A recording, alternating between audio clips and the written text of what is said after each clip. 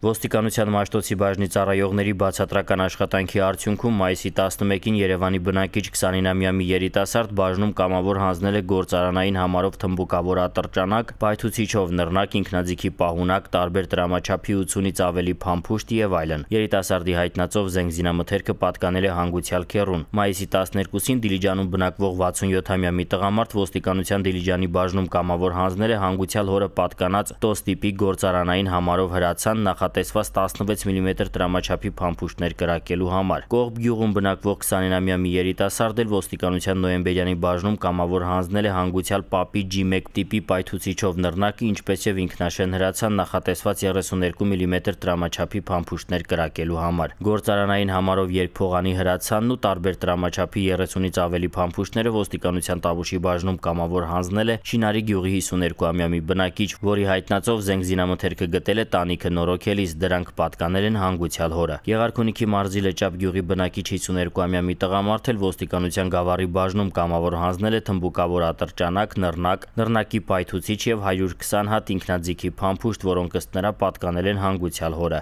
F1 տիպի նռնակը, նռնակի պայթուցիչները, ինքնաձիգի պահունակներն ու 150-ից ավելի տարբեր տրամաչափի փամփուշտները ոստիկանության աշտարակի բաժնում կամավոր հանձնել է Ուջան գյուղի բնակիչ 48-ամյա մի տղամարդ։ Նրա հայտնածով զինամթերքը պատկանել է հանգուցյալ հանգուցյալ եղբորը։ Նշանակվել են դատաձգաբանական փորձաքննություններ, հիշեցնենք, որ ապօրինի պահվող զենգզինամթերքը կամավոր հանձնողներն ազատվում են քրեական պատասխանատվությունից։